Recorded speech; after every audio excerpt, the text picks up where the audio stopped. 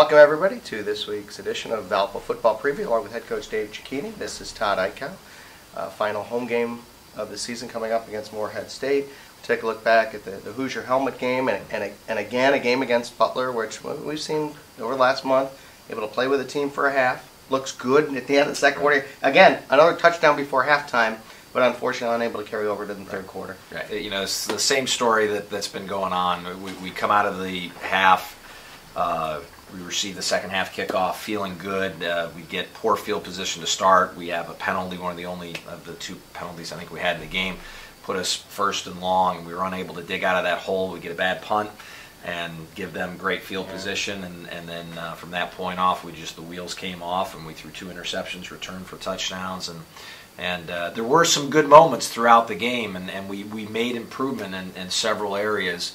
Uh, but anytime you throw two interceptions that get returned for touchdowns, it, it's, it's very difficult to win a football game. Dave, do you think being the youngest team in the league, and a lot of that has had to do with, with some injuries, is put you know take juniors and seniors out, you mm-hmm. put freshmen in, it makes right. you even even younger. Uh, unable to sustain things for four quarters. Some of that is still learning. Oh, sure. Yeah, it's a combination of several factors. I mean, the physical aspect of the game. Uh, you know, our players kind of get worn down physically as they're going up against bigger, older, stronger guys. Uh, but a lot of that, just that mental focus, being able to, you know, freshmen, that's that's kind of their mo. It's it's they're going to look great when they're talented, but they're not going to be able to consistently give you that performance. Uh, they'll get better over time. Uh, how quickly freshmen mature, you know, some guys get it right away, and they're and they're special players, and then we have a couple of those. Some guys show flashes, but it's only half of the time, or, or three quarters of the time, or 60% of the time, whatever it is.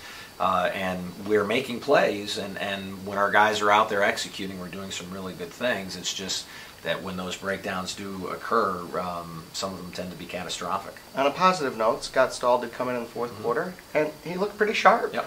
Yeah. Uh, I don't know how you assess the quarterback situation going into this week, but but could he play? Yes, absolutely. You know, Scott uh, has, has been such a reliable backup over the last two years, and he's gotten his chances to get into games. And, and when he's uh, gotten in, he's done some good things. And, and certainly coming in in relief uh, for Ryan, he was able to move the ball down and, and, and get us uh, a drive for a score in the fourth quarter, which was good. And and uh, so absolutely, we're, we're looking at uh, getting him some playing time. You know, this being his final uh, home game, uh, he may get the starting nod here this week. All right, well, that is something we will keep an eye on throughout the course of the week, and we'll certainly find out on Saturday. You look ahead of the game on Saturday, it's a Morehead team uh, that you'd say you look at the numbers, they appear to be the most improved team in the league this right. year, and um, still scoring a lot of points. Uh, they've been better on defense this year, yes, right? Absolutely. New uh, defensive scheme and, and very well coached on defense now, playing with an awful lot of confidence.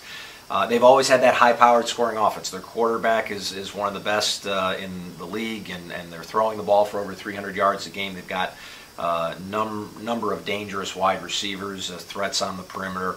Uh, and uh, but in, the past they've gotten beat by teams just outscoring them, and, and that that's not happening as often this year. Their defense has tightened up, and, and they're doing a great job. and that's going to be the, the, the area where you know, if we're going to have to to uh, be able to slow these guys down, we're still going to have to step up and play. We were able to score a lot of points against them a year ago, uh, but this defense is vastly improved. Uh, we talked about this a week ago. You got to win the turnover battle, and, and when, you, when you, you know you're shorthanded and, and uh, you're in an underdog situation, certainly winning the turnover battle is crucial. If you had won the turnover battle on Saturday, right. the outcome may have been different. Absolutely, you get 14 points, uh, and you didn't have any takeaways, which has right. been unusual. You got to take the football away on yes. Saturday. Right? There's no question. I mean, if you look uh, take a step back at the the Butler game. Statistically, if you take the turnovers out and just look at the yards of offense that each uh, team were able to gain, it was nearly identical. Same amount of first downs play, Same amount of first downs.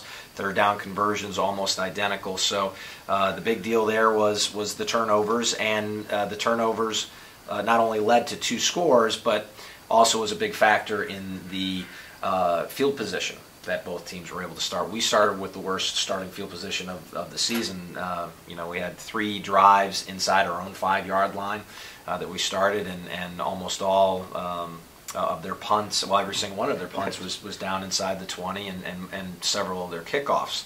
Uh, we started inside our 20. So, so those are the two big things that we're focusing on this week: is to continue to try to uh, hold on to the football on offense, take better care of it, generate some momentum changes by getting turnovers, whether it's in the special teams game uh, or on defense, and then win that field possession you know, uh, battle. You know, where we, we get uh, a starting field position that's greater than the team that we're playing, that's going to help us, particularly with a young offense who we're just not right now ca- uh, capable of going out and having those long, sustained Right. drives.